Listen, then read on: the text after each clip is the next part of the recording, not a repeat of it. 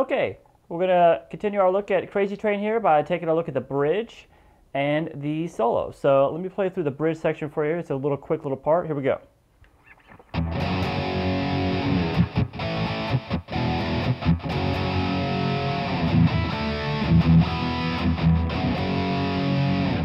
Okay, so that's the first half of the bridge. The second half of the bridge, we're going to take it up, uh, the power chord up uh, an octave, and that's basically going to be the same riff past that. So it's going to be like this.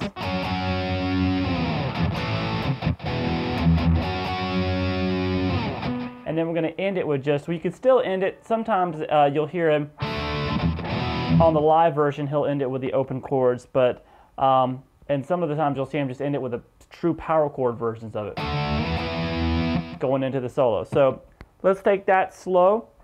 We're going to have the second fret, sixth string, uh, the power chord off this the uh, low E string, second fret, the F sharp power chord. Pick that twice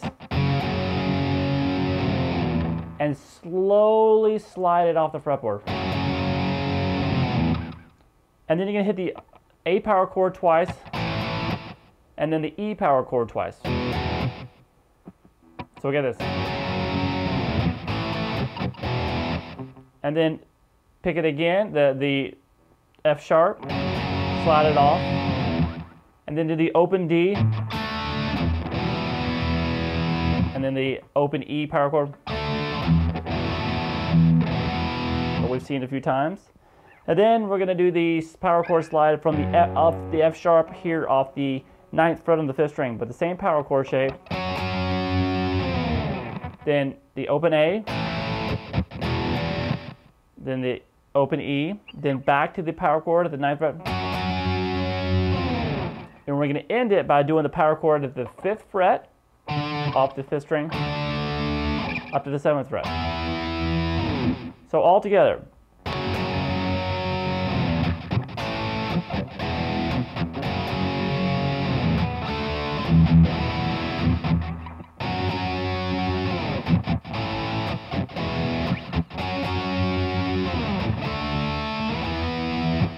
All right, and that takes us into the solo. Um, so I'm going to break the solo up into little sections here. Uh, the first section is a tapping section, and it's going to sound like this.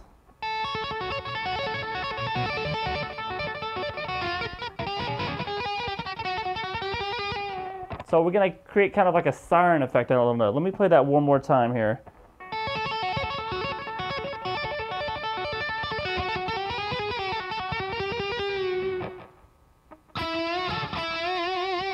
All right, so let's do all that. So we have, we're just the pattern that we're going to be tapping here um, is going to be, we're going to start with the, our first finger at the seventh fret on the B string, and then the 10th fret on the B string. And then we're going to be tapping the 14th fret up here on the B string. So we're to first, we're to tap the 14, pull off to the 10th fret, then tap the 14 again, then you're going to pull off to the 10th fret again, pull off to 7, then hammer back on to 10. So we have this. So all together, it's a six note pattern. Sorry.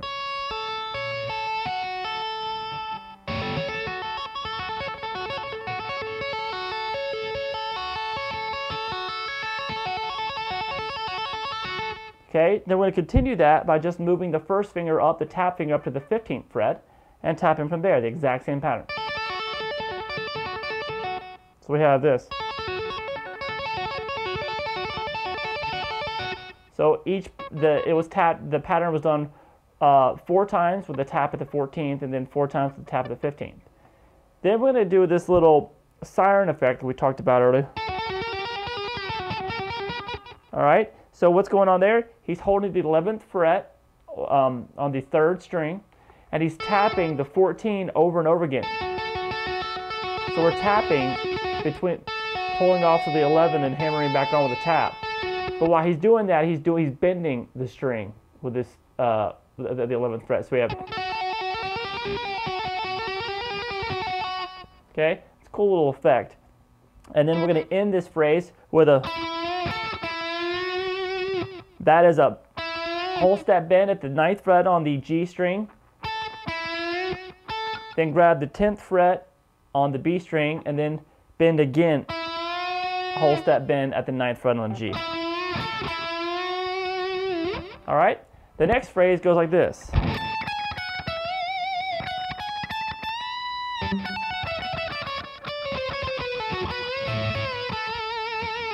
All right, so what's going on there? We have a little melody note. It's going to 16, I mean, sorry, 17, 16, 14 on the high E string. So just 17, 16, 14. Then we're going to do a whole step bend at the 17th fret on the B string. And then come back up, we're going to go 14, 16, 17 on the high E string, and then do a whole step bend at the 17 on the high E. So we have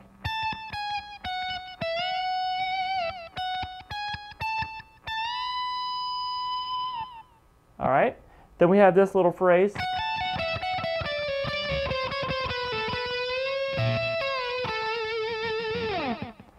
What's going on there? We do a quick hammer on then pull off from 14 to 17 on the high E string. Just hammer it on and pull it off.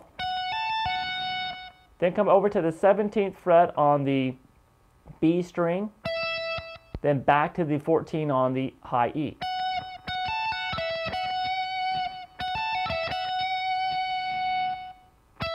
Then come back down to the 17 on the fourth, I mean the, the, the B string. Then we're going to do a pull off from 15 to 14 on the B string.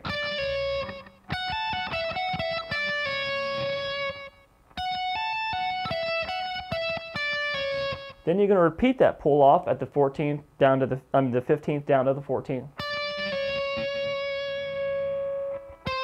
Then you come to the blues note here, which is on the 17th fret on the G string, back to the 14th fret on the B string.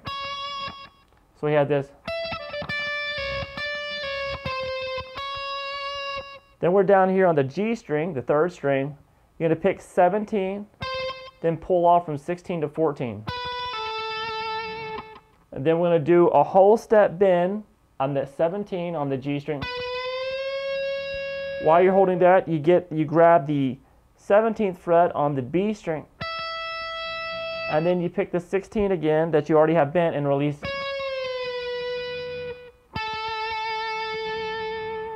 And then come down to the 14th fret on the third string. So all together we have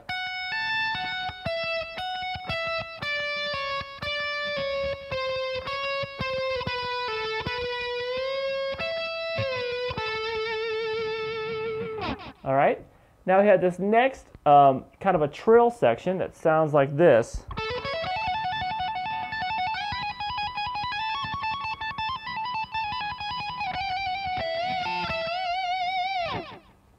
All right, so we're going to start that with a hammer on uh, a 14 to 16 on the G string, then 14 to 17 on the B string.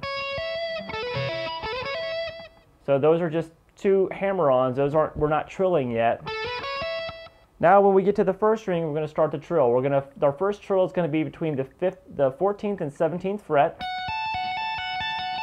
So do a continual hammer on and pull off between those two notes.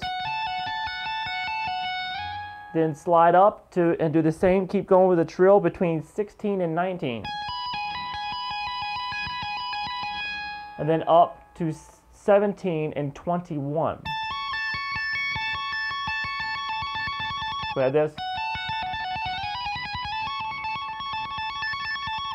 Then you're going to come down, instead of the 21st fret, leave your 17 there.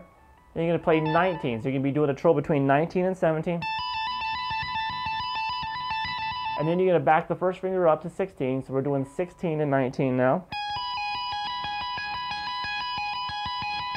And then come back and play a trill between 14 and 15. So all together, so from this hammer on.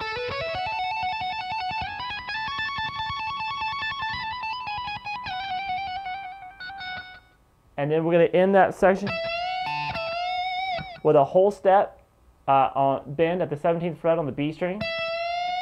Grab the 17 the high E.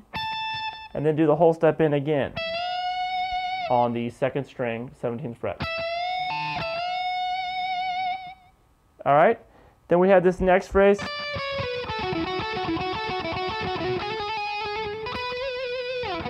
And that's just these three notes to start it.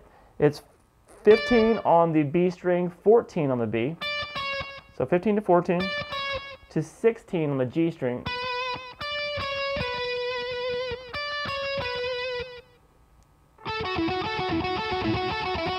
Then we have this little lick here, which is going to be 14th fret on the third string, and then we're going to play 16, 14, 16 on the D string.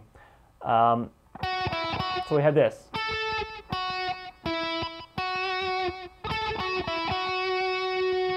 And we're going to do that lick four times. So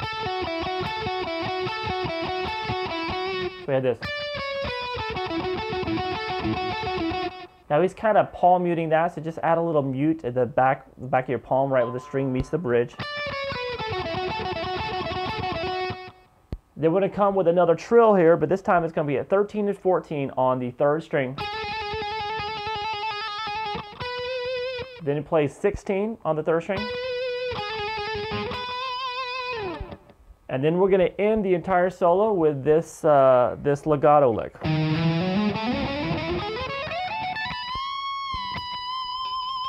All right, let's slow that down a little bit.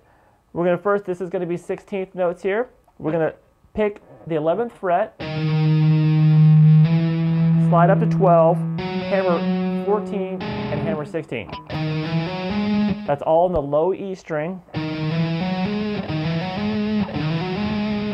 And from here on out, we're going to be doing 16th note triplets.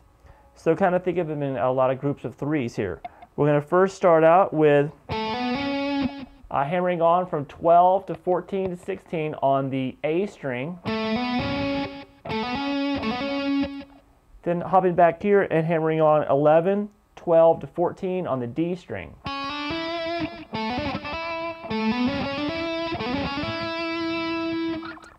Then staying on the D string, come up to the 13th fret, and you're going to hammer 13, 14, 16, and then 13, 14, 16 on the third string, the G string. So, so far we have.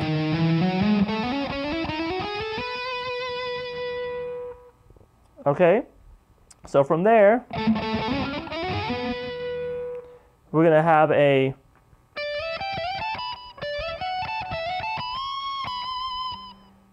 we're going to do a slide here. Now from the 15th fret to the 17th fret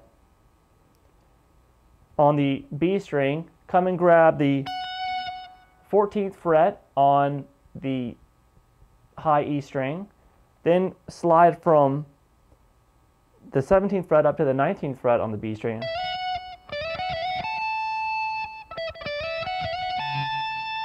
So we have this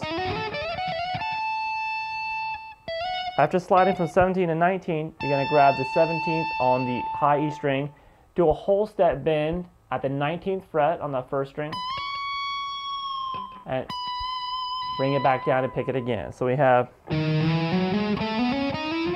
sorry.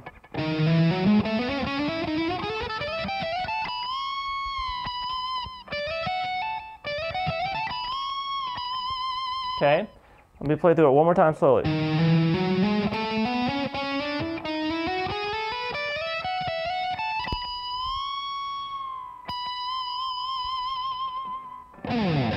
and we go back down to the main riff. So I hope you guys enjoy uh, playing Crazy Train, and I'm sure after a short while, if you just break everything up in bite-sized pieces, you'll get all the notes underneath your fingers relatively quick. All right? Good luck. Bye-bye.